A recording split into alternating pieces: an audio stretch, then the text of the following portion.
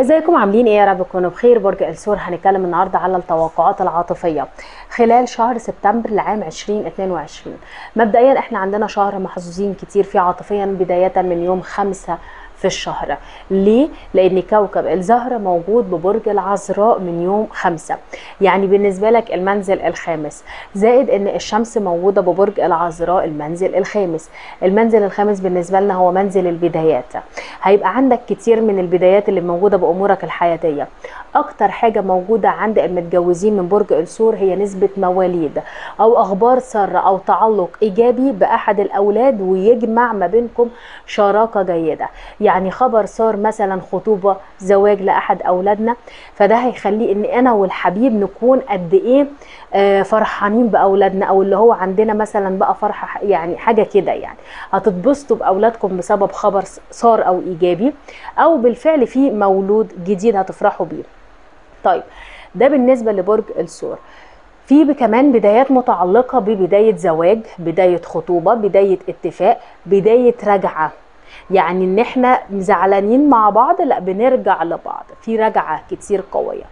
برج الثور من الناس المحظوظين جدا عاطفيا خلال الشهر ده. زائد كمان إن أنتوا هيكون عندكم ملمس جمالي حلو جدا أو شكل جمالي حلو قوي. يعني كتير هتبقوا حلوين. في فترات في فترات كده بيبقى الواحد يبص لنفسه يقول الله إيه الحلاوة دي؟ إيه اللذاذة؟ تحس إن شكلك قلب بيتغير.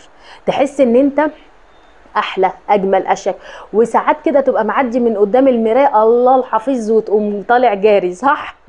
على فكرة كلنا كده. يعني كلنا بيجي علينا أوقات بنبقى حلوين قوي وانت ذاتك تبقى أو, أو انت ذاتك تبقى معجبة كتير بنفسك وبشكلك. وأوقات تانية تقولي يا الله إيه ده؟ أنا أنا مالي زي كده أنا بالظبط كده في اللي هو طبعا هو معروف إن أي حد في مراحل الحمل الأخيرة مناخيره بت إحنا بنقولها بالبلدي كده مناخيره بتفنشر أكتر. فطبيعي جدا فأنا كل ما أعدي قدامي أقول عليكي حتة ف... المهم يعني. آه والله بعاكس نفسي حتى في الهبل المهم. فبرج الثور في برج الثور انت عندك اللي هو النقطة دي يعني بس لا مش النقطة اللي زي انت عندك الفترة دي لا شكل أحلى. هتبقوا راضيين كتير عن شكلكم حابين شكلكم أكتر.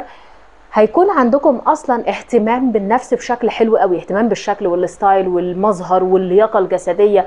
كمان غير ده كله اهتمام بالعقلية. أنتم مهتمين بعقلكم. طب إزاي؟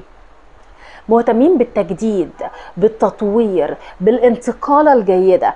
فهيكون عندك كتير اهتمام إن أنا أغير من حياتي أو أغير من الوضع المهني الأفضل لأحسن إني أعمل حاجة جديدة نعمل حاجة تتبروز حاجة تتكتب في ال ال الحياة بتاعتك إن أنت عملت حاجة مميزة. فكل ده أنت بتدور عليه.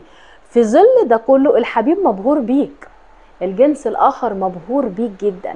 فإذا أنت قادر على لفت النظر لفت الانتباه. طيب إذا حلو الكلام. تعالوا نتكلم على علاقتك العاطفية مع كل برج. علاقة الثور والحمل الثور والحمل هيبقى فيه مساندة كتير لبعض. هتبقوا كتير بتساندوا لبعض كتير بتحاولوا تدعموا بعض حتى فكريا حتى في الأمور الحياتية حتى في الأمور المهنية. بتحاولوا كتير إن أنتوا تبقوا عارف فكرة اللي هو أنا أدي خبرتي للي معايا. أساند الشخص اللي معايا. أقول له لا خلي بالك من الخطوة لو أنا عندي تعقيب يعني عندكم تعقيب على الإيجابية على إن أنتوا تخلوا كل واحد أفضل. تقديم هدايا لبعض مساندة لبعض مسؤولية تجاه العلاقة جدا والمسؤولية دي كتير هتكون إيجابية بتدعم النفسية جدا. أما بالنسبة للثور والثور الثور والثور هنا أنتوا عندكم بدايات بسم الله ما شاء الله رائعة جدا. خطوات مميزة ولطف كتير في التعامل وإيجابية حلوة قوي قوي قوي قوي هيكون عندنا نسبة مواليد عالية جدا. في بداية في بداية هتبقى حلوة هتسير إيجابيتنا أو هتسير نفسيتنا للإيجابية. الثور والجوزاء. هيكون عندنا اختلافات شوية بس هيبقى عندنا تحمل. يعني هيبقى عندنا تعقيب على بعض. الجوزاء أصل هو متجدد ومتغير وإنت هتكون بتميل إلى التجديد والتغيير خلال هذا الشهر. فهيكون في بعض التعقيبات اللي مش هتعجبك إنت كبرج الثور من الجوزاء. فهيكون عندك إن إنت يعني في بعض الاختلافات الموجهة ما بينكم إنتوا الاثنين بس هيبقى فيها تحمل وإنها هتعدي بشكل إيجابي. اللي هو ما فيش بيت ما فيهوش مشاكل. عارفين اللي هو الجو ده؟ يعني في جدل في أي بيت في جدل وانتقادية في أي بيت ف هتعدوا يعني الدنيا هتتعدى. بس في بعض الانتقادية اللي هتخلي برج الثور يعفر الدنيا وبعدين يلم. ففي في من ده هو نشيط نشيط ونيجي على ما فيش. فالعلاقة هي كده جدا. السرطان والثور برج السرطان والثور خلي بالكم كتير من عدم فهم الآخر خاصة برج السرطان هو اللي يخلي باله. لأن برج السرطان أنت عندك ضغط شوية عندك اللي هو التسرع في الحكم غيرة وشك كتير مش حلوين.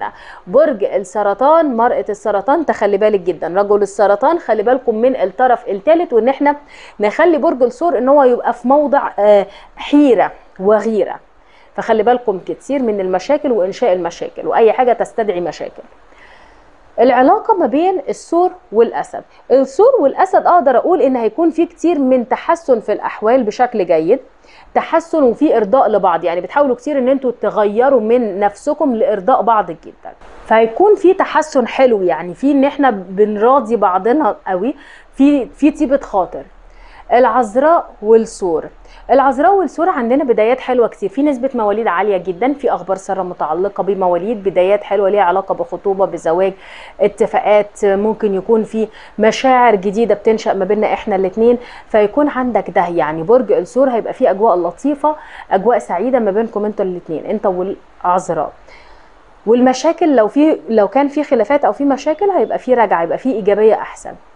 أما بالنسبة للميزان والثور الميزان والثور هيكون عندنا فيه قرارات مهمة قوي قوي بتتخذ في العلاقة دي. برج الثور هيبقى بيحاول إن هو يحافظ على العلاقة أكتر وهيبقى حابب الميزان وده اللي هيحسس إن الميزان بيه إن بقى ما فيش تقل عاطفي. زائد نقطة كتير مهمة العلاقة دي منظورة. وكتير فيها أشخاص عايزين يفسدوها. خلي بالكم كتير.